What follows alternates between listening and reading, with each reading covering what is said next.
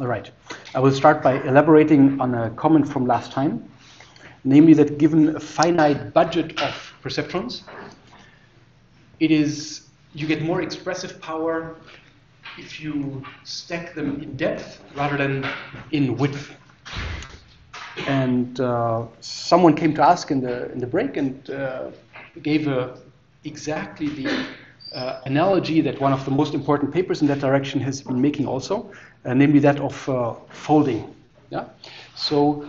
Um, in this paper by Montufar and colleagues, um, we are looking at the remember the activation function, it can be anything as long as it's nonlinear.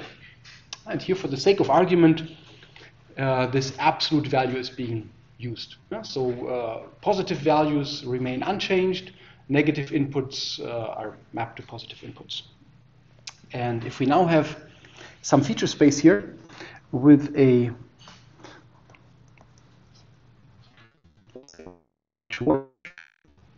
and by the way, all of this today is in the public document, so you can, because you know there will be no formulas, there's no point in you painting all of this. Um, so if we now put a uh, perceptron down the middle of this feature space, then uh, any point that's, uh, let's say, at uh, this distance uh, will get the same response as any point which is on the right hand side at the same distance, etc. And so, uh, figuratively speaking, uh, we could say that this feature space is being folded along the vertical axis.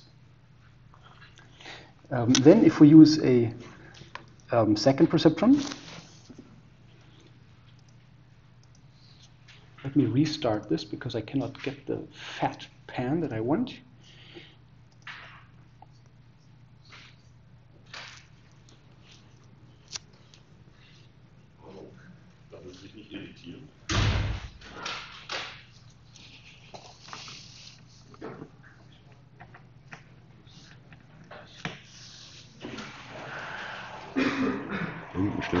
Immer auf und das Dorf soll nicht sein. Okay, so viel Projektion noch besser. Denn diese Jalousien sind Fehlkonstruktionen und die hängen es dann irgendwann in der Kontrolle. Das macht nichts, wir können ruhig wissen. Alright. Um, so if we put a second perceptron in the same space uh, down that axis, uh, this has the effect of uh, folding along the horizontal axis. So that if I now have these two perceptrons, both with uh, this absolute value activation function, it is like folding once along the vertical, once along the horizontal axis. And uh, so we have altogether mapped four distinct points onto one. Uh, so let's say uh, these four points here have been mapped onto the same coordinate in the higher dimensional space. And uh, if we do that twice, um, so here's an example of a two-layer perceptron. So you know the thing that we've uh, drawn many times. Uh, I have uh, summation units. Uh, the activations this time are these absolute value functions. We had two inputs. The inputs were x1 and x2. This would be the first layer. And uh, then we repeat the same thing.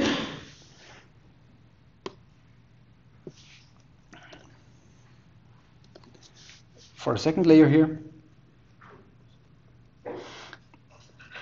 And we get two outputs. And uh, these outputs, uh, let's call them, uh, I don't know, Z1 and Z2. Uh, those are the ones shown here. This would be Z1 and this would be Z2. Um, so let's say that uh, if in this uh, final space we are using a perceptron a single one.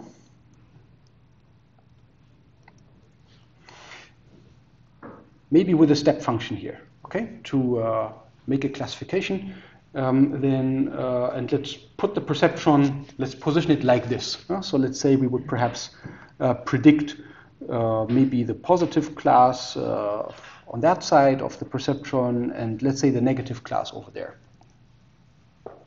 If we look at where in the previous space points are being mapped, mapped to positive or negative, then we would have positive, positive, positive, positive here, and then, uh, well, negative for all of the insides. Okay? And uh, then we can look in the very original space uh, where, this, uh, where these points came from, and uh, then we ultimately find um, these decision boundaries that you see here.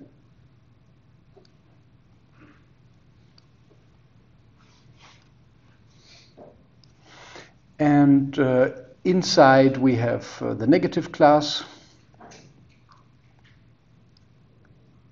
And outside we have the positive class throughout.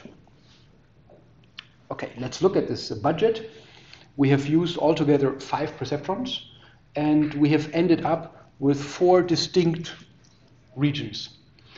And if we had tried to do that directly, so by using four perceptrons in the first layer and just one perceptron in the second layer, we would not have managed to get such a complicated decision boundary out.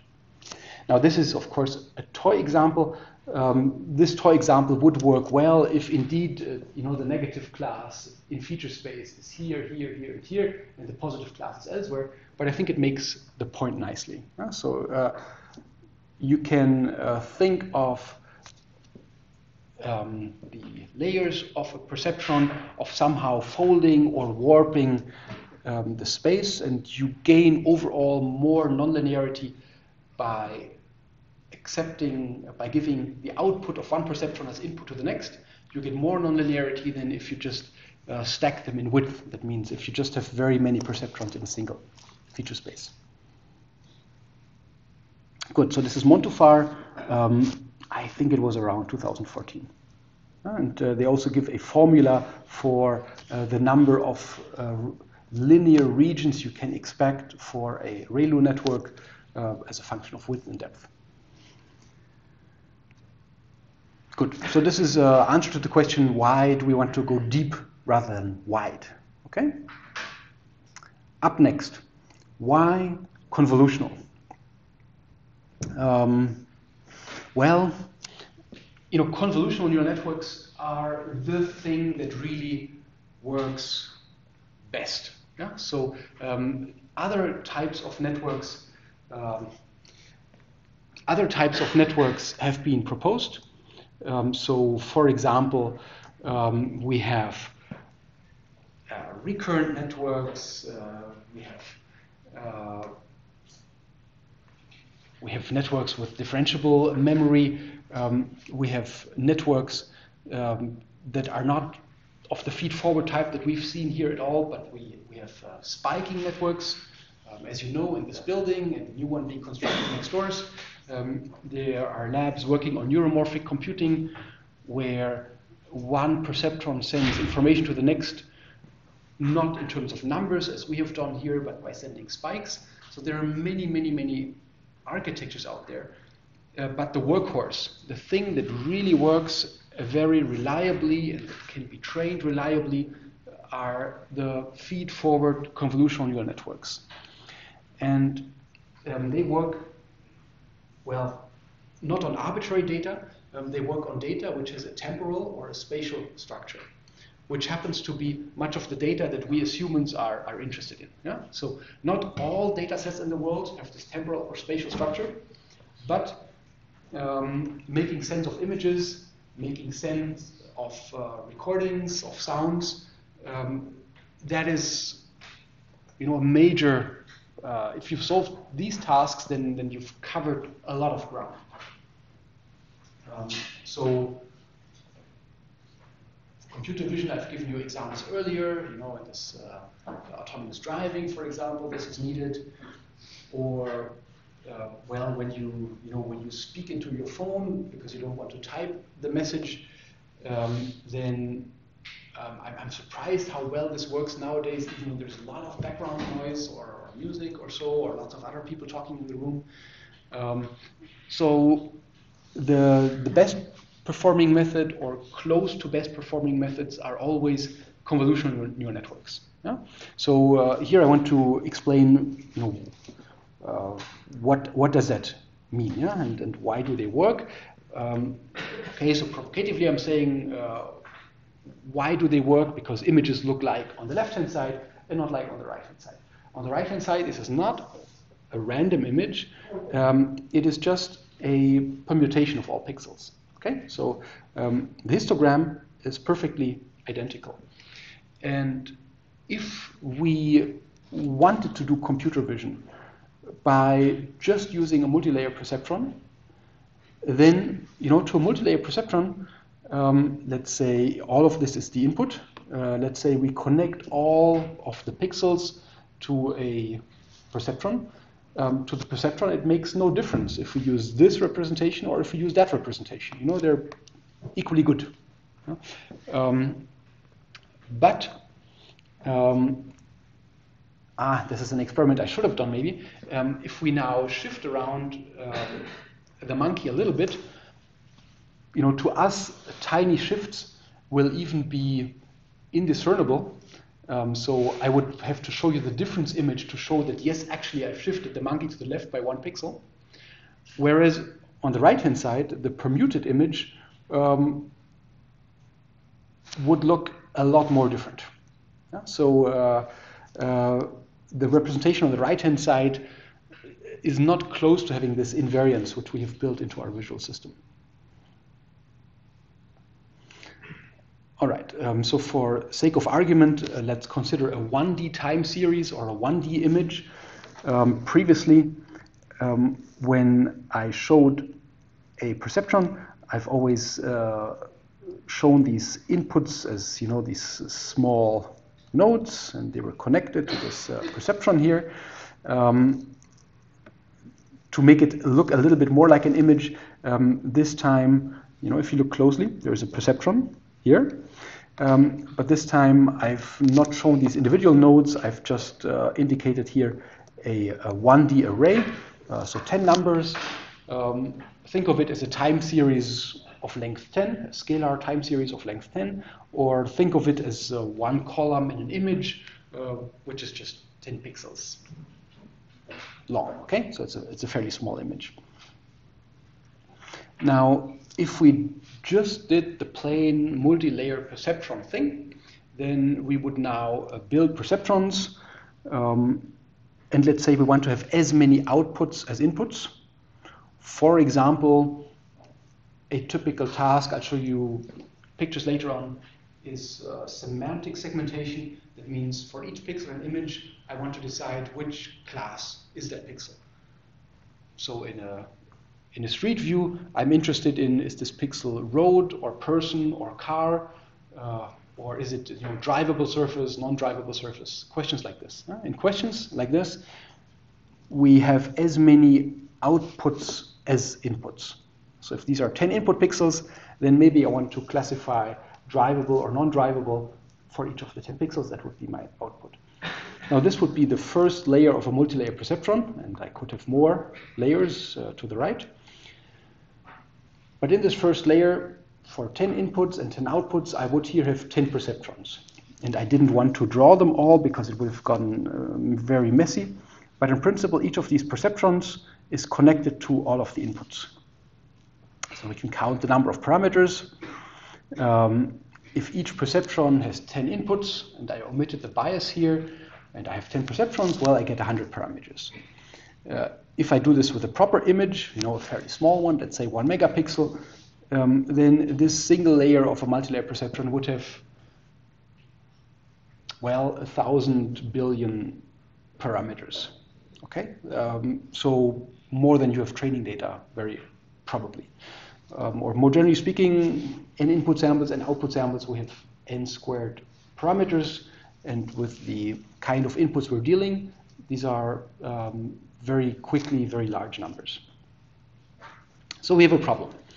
Now, um, the first thing you can do is uh, decide that, all right, if this perceptron here is to make a prediction on the nature of this output pixel, whether it is drivable or non-drivable surface, let's say. Um, maybe this single perceptron doesn't have to look at the whole image. Maybe it's okay if it just looks at uh, a local vicinity. You know? Maybe it's enough if it just looks, let's say, at the first three pixels. So instead of a fully connected layer, we then get a locally connected layer. In this case, uh, ignoring boundary effects, um, I have uh, pretended that each perceptron gets connected to three of the pixels. Well, and if we do want to discuss boundary effects, uh, then actually I would have had to draw it a little bit differently. Uh, the third input here, you know, I have to decide what to do. I can, for example, just a zero pad. That would be my third input. Um, and I would do that, of course, for each other perceptron in between. So for the perceptron mapping here, it would get these three inputs. So number of parameters this time is no longer n squared. Um, this would be 3n parameters. Um, this is quite doable. Um, however, we are in this way forcing our system, if these parameters are not constrained to be identical, um, I'm forcing the system to reinvent the wheel all of the time. So let's say uh, one perceptron becomes good at distinguishing if something is road or not. Maybe it just looks, you know, at the color and texture of the three by three pixels locally. Uh, and if it's gray, then it's maybe road. And if it's uh, red, it's probably not road, something like that. Um, but then the perceptron, which is responsible for the adjacent output, would have to come up with its own rule, which probably would be very similar. And uh, so then, you know, why not force these rules to be identical in the first place? We could either do this by regularization. We could say that um, if we look at the parameters, so maybe the first parameter, okay, let, let me call this weight here um, 7, 1. Uh, it belongs to the seventh perceptron, and it's the first weight of the seventh perceptron.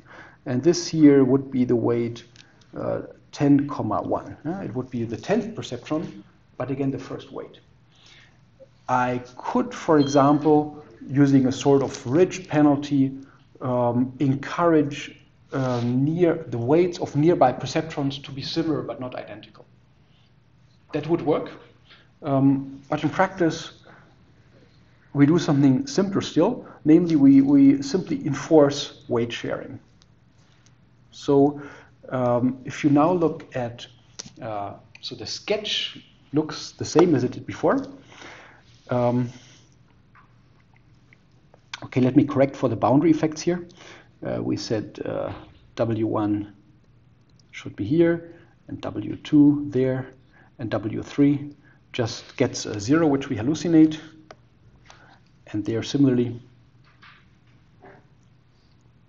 we have W1, W2, and W3.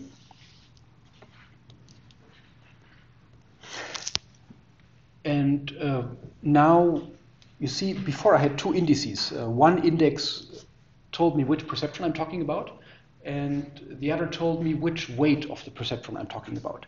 And now I've lost the index for the perceptrons, making them all identical. So all perceptrons now use the identical set of weights, and uh, mathematically speaking, so the linear part, uh, so if I look at the result here before the nonlinearity, uh, mathematically speaking, that's a convolution. Hence, convolutional neural networks. Now, number of parameters this time for this first layer of my multi-layer perceptron is three. Okay, compare that to the thousand billion we had earlier. Uh, so um, clearly uh, that helps in reducing number of parameters. And I mentioned last time that fundamentally we usually have the problem of too many parameters and too little training data. So this is of course a very appropriate means to reduce number of parameters. At the same time, it's of course a huge restriction. Yeah? So uh, that means we will probably, you know, if I only used that as a first layer of my multi-layer perceptron, and then did something, you know, and then I use a hundred more layers on top. But if the hundred further layers never see the original input, but just see the output of this first layer, then uh, the rest of the neural network would have to look through a tiny keyhole, if you like, or through a very special set of glasses at the raw data. So let me give you an example. Uh, let's say this filter is a high-pass filter. Yeah, so maybe the neural network has learned that it's a good idea um, to use weights which are, let's say, plus one, which are zero, and which are minus one. Yeah, so this is a finite difference operator. It is an approximation uh, to the gradient in the image. Um, now, this is on one hand, it's fine, you know, because it brings out intensity edges, and edges are a very salient feature in images. So we, we know that we use that a lot in, in our biological system, and the whole animal world does. And if we look at the way it's learned by neural networks, we see that they also learn edge detectors. That's an important feature. But um, as you know, the derivative it cancels uh, well, it cancels constant offsets, and it also cancels um, the low frequency variations. So where an image is bright and not bright. Yeah? So what I would get what I would get out from my first layer is um, a feature map which tells me where the edges are in the image, but I've lost information of uh, you know inside the, the edge and outside the edge. So inside the object and outside the object, what were the relative brightnesses? You know, was the thing inside the edge, was it bright or was it dark? Yeah? Or how bright was it? Um, so we don't want to be so restrictive. And as a consequence, um, well, we stay in the same layer of the neural network, but we generate more feature maps. So let me use a different color here. Um, let's say I'm generating a second set of outputs here.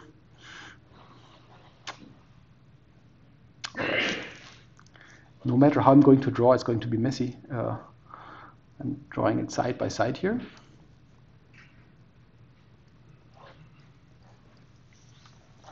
And now I have a second uh, set of perceptrons, again with identical weights. They take the same inputs. So the first one takes the first three pixels, but they map their output here to this second channel.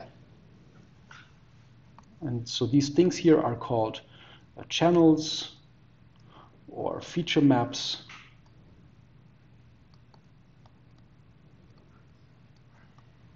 And there are other names.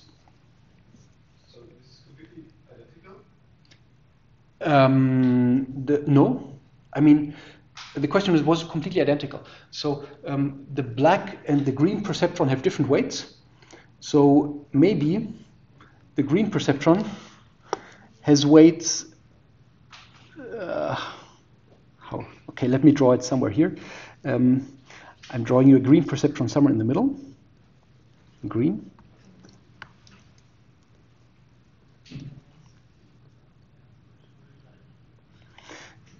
This maps, let's say here.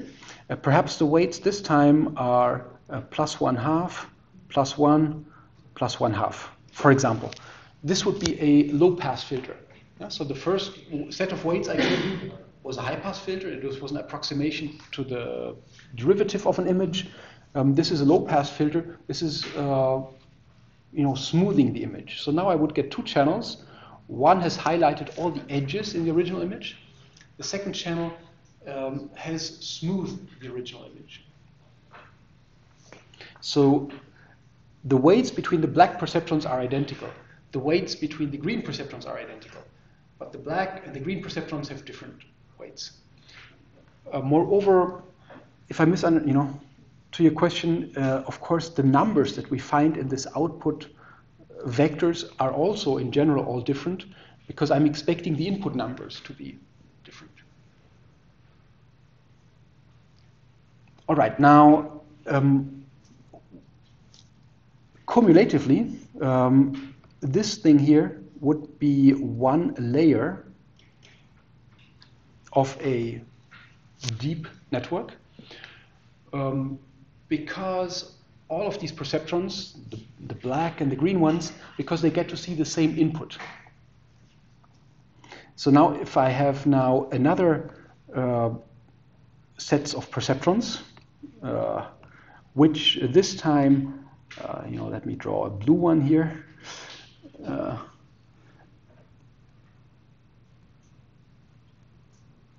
so now this has weights or it takes input from both channels. Yeah? So now I don't have three weights, but I have six weights. And it has an activation, and it produces an output.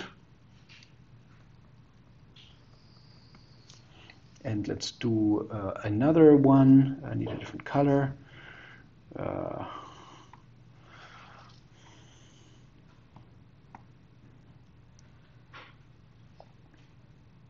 I can have another set of perceptrons.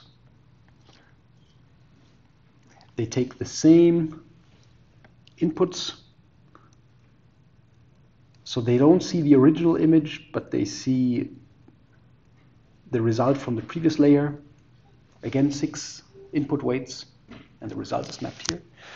Um, these would again be called one layer because all of these perceptrons work on the same input. And traditionally in neural networks, we have had this sequence of layers where each layer just sees the input from, or, or only gets to see the output of the previous layer as its input. Now, in recent years, um, this has changed because uh, um, empirically it has been found that actually it's a good idea to let these later perceptrons also see more of the raw data or see more what the opinion of earlier layers was.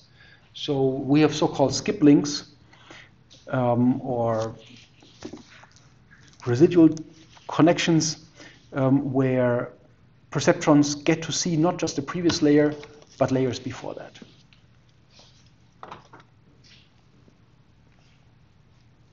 All right.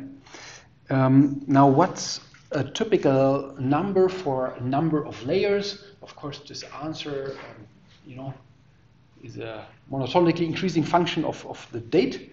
Um, but um, you know, a decent network nowadays would have dozens of layers. And then how many channels per layer? Uh, well, it depends where in the network you are, and I'll give you examples later. But typical numbers of channels uh, could be um, something between, let's say, 16 channels where we have a lot of spatial resolution and uh, 4,000 channels uh, where we have low or no spatial resolution. Just to give you an idea. Okay.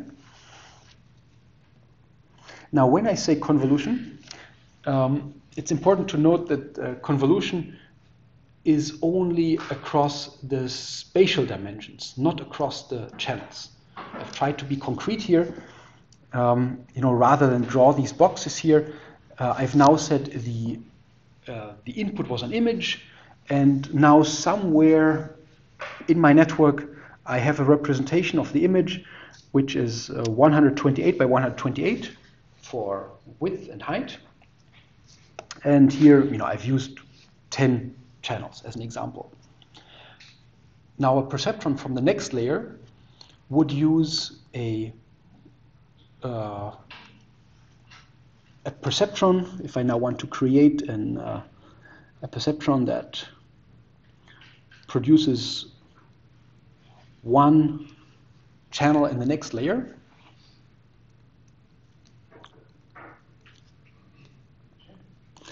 um, this perceptron sees uh, typically, you know, a fairly small uh, part in space, so something like uh, maybe three by three pixels, uh, but it gets to see all the previous channels at once. Yeah? So I've tried to indicate this with the box. Yeah? So up here, you see I said uh, the, the green perceptron uh, has as inputs, if it uses filter size of three, and there are two channels, and it has six inputs. and this time I've tried to show you in, sha- in the shape of a box what this input would look like. It would be 3 by 3 by 10. And that means uh, that we do convolution only across space, but not across, uh, so typically not across the channel dimension. Okay, so um, the perceptron does not see 3 by 3 by 1 and then convolve in space and across channels, but uh, what, i what I've shown you here would be a typical connectivity pattern. All right, this would be, uh, so in this case, uh, here we would have 90 parameters for the perceptron that generates us this particular channel. And then, of course, uh, as before, we have many perceptrons uh, that uh, give us many channels, which collectively I've shown on the left-hand side as a box, or as a tensor, if you like.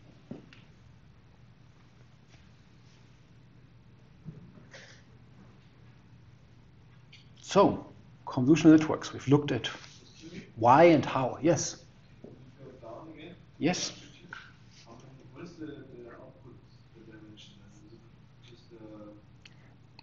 Well- If I have the output dimension, um, can you answer yourself?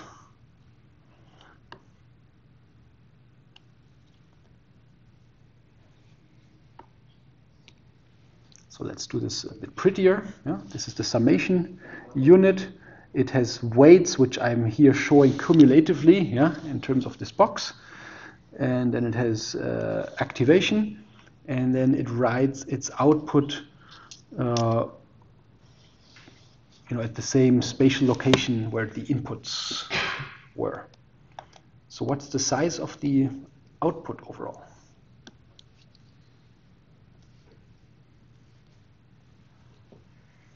depends on the number of channels? I guess. Well, if I use a single kind of perceptron, no. Can you make the analogy, you know, up, up here? The perceptrons up there also only had three weights. And yet the output was not, was not of size, three. Yeah? Uh, 126 by 126, I guess. This is obviously an 8, but yes, you're right. Yeah? So uh, 128 by 128 would be the output for a single kind of convolutional perceptron. Yeah, but shouldn't it be less because it's 3 by 3 or it would be a periodic boundary? Okay, you're talking about the boundary effects. Ah, you, you've been reading my 8 correctly and you've been discussing the boundary effects. There's a clever guy. Okay, good. Sorry. um, so, uh, okay, you are alluding to this uh, here, to this corner case of uh, what if the perceptron tries to look outside the image. Um, there are a few choices in signal processing. Um, one is to just extend the image with zeros. This would be called zero padding, and it obviously has a bias. Uh, another choice is to mirror the image. Um, that's a fairly good choice. Um, or you can uh, only uh, compute the quote unquote valid convolution, so only compute those results uh, where you're not contaminated by boundary effects, and then uh, you lose for each of these convolutions a few pixels at the, at the borders. Okay, but if we ignore it for now, and if we say uh, we zero pad, then if the input was 128 by 128 by 10, then the output would be 128 by 128 by 1 for one kind of convolutional perceptron, one channel. no? And if we now add a next kind of perceptron, it gets to see the same input but uses different weights. Then we get here a second output channel, and so on.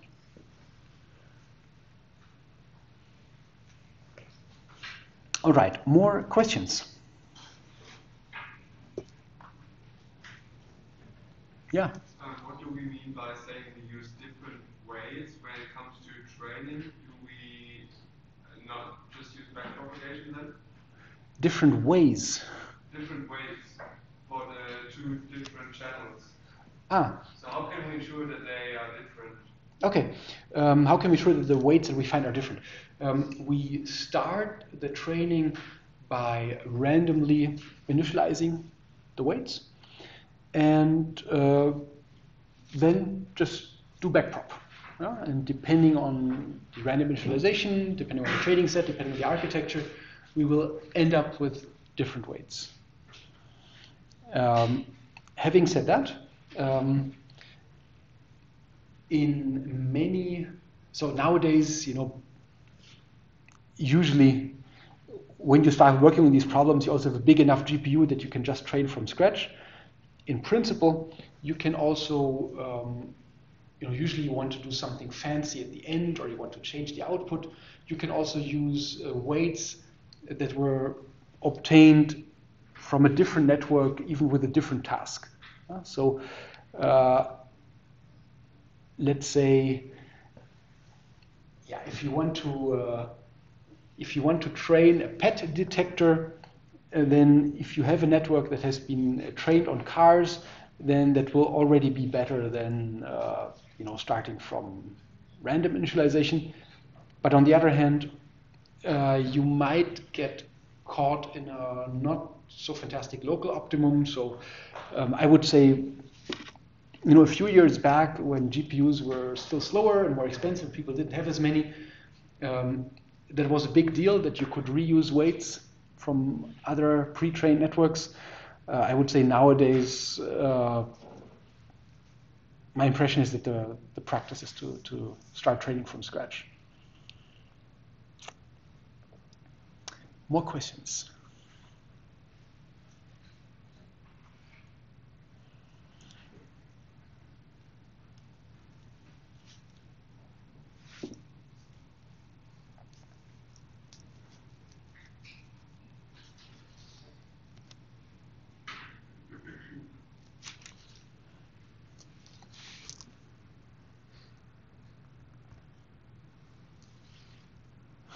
Okay, so those were the principles of a convolutional network. Let's look at uh, concrete architectures.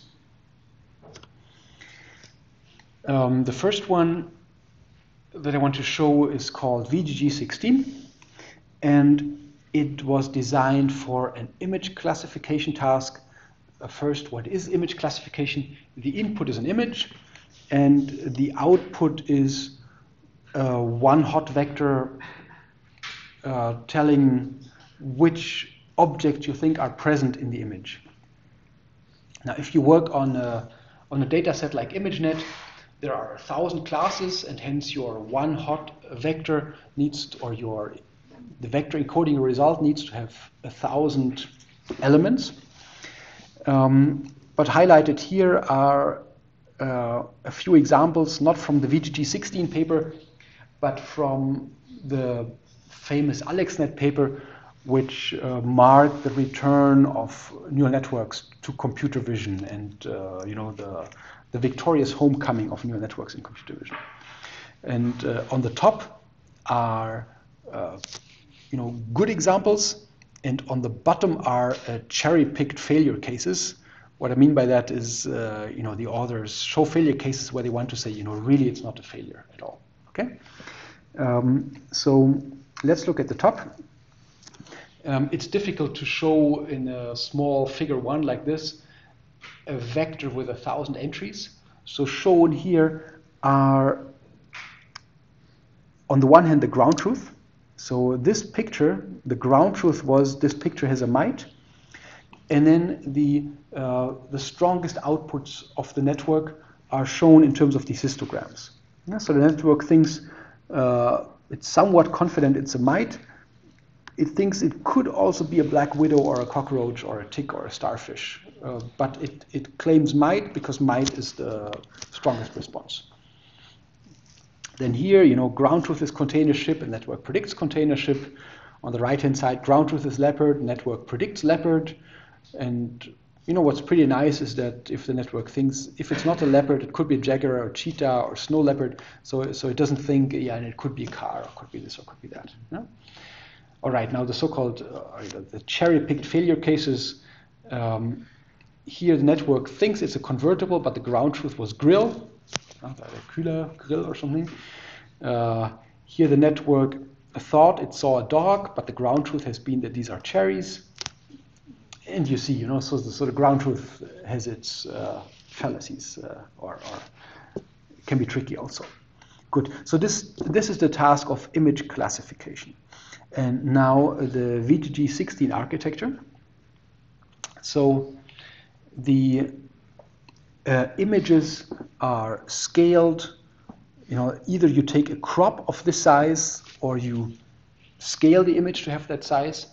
224 by 224 times 3. The 3 is for the red, green, and blue channel of the color image. Now, um, we have from here to here, we have 64 different kinds of perceptrons. So in my pictures, I've always drawn two kinds of perceptrons, convolutional ones. Here we use 64 kinds of convolutional perceptrons, uh, giving 64 output channels. And you know the picture is not drawn quite to scale, so this box here, the thin one, it should really be well, you know, it's it's drawn here too flat. Yeah, I mean, if, if the width and height is 224, then if we plotted the 64 channels correctly, if we made isotropic voxels, then uh, this would be a much bigger box or a, a thicker box, let's say. Um, then there are further 64 kinds of convolutional perceptrons and their nonlinear activations, which take us from here to there. Now, in the very end, we want to end up with uh, this uh, 1000 dimensional uh, vector encoding which of the classes do we think is in the image. So, somewhere between the image and the output, we need to progressively reduce the spatial dimensionality, and this is what's happening here. so, from, from here to there, um, there is a, a, red stage, which uh, this picture is uh, marked as, as max pooling. A max pooling, you know, the name says it all. It's an operator that looks at a tiny window, uh, maybe three by three pixels, and only passes on, or in this example here, uh, it's a two by two window, and uh, it looks at the four values it finds in this two by two window and passes on just the biggest of these. So clearly there's a loss of information, but it's on the one hand a useful nonlinearity, and on the other hand, it helps reduce spatial dimension. It's also an operation that uh, gradient can be propagated through for the backpropagation. Now, by the way, out of these four numbers, just one gets forwarded, so the gradient that we get will only then be branched along that winning input. Yeah, but still gradient can be sent through. So that's the max pooling thing. And uh, then come now 128 types of convolutional perceptrons and nonlinear activations, and another 128 types of convolutional perceptrons. So you see, we sacrificed spatial resolution, but you know, here we went from three channels to 64, and now we went from 64 channels to 128. Uh, so you see this trade-off. Uh, this network is reducing the spatial resolution, and at the same time, it's using more and more channels to somehow, you know, preserve the information or represent what's in the image. And then the same thing happens again, you know, another max pooling stage, and uh, now the number of channels is doubled again, uh, and this goes on and on until um, here, you know, this was 14 by 14 if I did a max pool of 14 by 14, usually I should end up with 7 by 7, but instead uh, I end up with a 1 by 1. Uh, so here a max pool across a bigger window was being used. So, so here a max pool not of size 2 by 2, but of size 14 by 14 was used to produce uh, actually this result here. Yeah? So this would be, um, oh, okay, it is actually 7 by 7 by 512. I apologize. Okay, good. Sorry. Um, and now comes a proper multi-layer perceptron. Yeah? So um, now we have uh, here uh, 4096 perceptrons, and each of the perceptron gets this entire thing as input and produces a single output. But 4096 distinct types of perceptrons. And uh, then in the next layer, there's another 4096 distinct types of perceptrons, which this time see all of the inputs or which see all of the output from the previous layer. So we have 4096 perceptrons, each one of which sees 4096 inputs. So actually, there's a lot of parameters. If we if we think, you know, where are the parameters hidden in the network? Uh, there's a lot of parameters here in this innocuous uh, end of the network. So this is called uh, fully connected. Yeah? And uh, then in the end, there are uh, 1,000 perceptrons in this final. So these we are now in 4,096 dimensional space. Now we, we put 1,000 perceptrons in this 4,096 dimensional space. Each perceptron votes for one class. And then there's the softmax operation that I mentioned last time, which normalizes it or, or brings the responses back um, to the 0, 1 cube. And uh, so the final thing, this 1 by 1000 vector, is the prediction of the network regarding which classes are present in the image. Good. This is by uh, Karen Simonyan and Ruth Zisserman from um, the Visual Geometry Group, hence VGG, uh, in Oxford. Um, and if you want to, well, encode something like that, you know, in, in one of these high-level frameworks, uh, there is a language which makes it pretty simple to uh, define standard networks like this one. Yeah, so here we would see that uh, we have 2D convolutions in the first layer. Uh, we want 64 distinct types of perceptrons, and they have a spatial dimension or the size of the weight mask is 3 by 3. Yeah? And uh, and actually, there are two of these layers, one after the other. And uh, then comes uh, the max pooling operation, and so on. So this is sort of a convenience language which makes it simple to specify a network such as a simple network, a simple architecture such as this one. All right. Any questions? Yeah.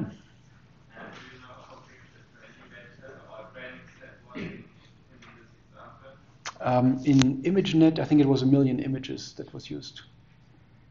And uh, there are at least a few hundred representatives of each single class.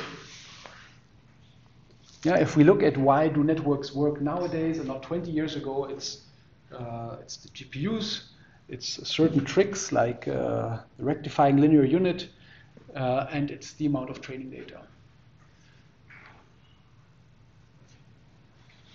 Yeah. Why do we want to use uh, max pooling instead of something like the mean where the propagate changes back to all of the bits? Mhm. Why use max pool and not mean? That's a good question. Um, so max pool in itself is a non is a nonlinear operator, and nonlinearity is good. Uh, but on the other hand, um, you know you are you're right in that uh, max pooling has gone a bit out of fashion. Um, so the way one would do it nowadays is um, rather by um, subsampling uh, a convolutional map um, and to not waste computations, you don't first compute it and, and then subsample, but you um, immediately um, use something which is called, what is it, transpose something? Transpose Yeah, so the, there, are multiple versions that you could do. You could, for example, do your convolution filters that we've seen that we that look at every three by three patch, for example. To say they always take one larger step, so they don't have a patch different, two pixel problem, and that you new spatial resolution and you do everything with that.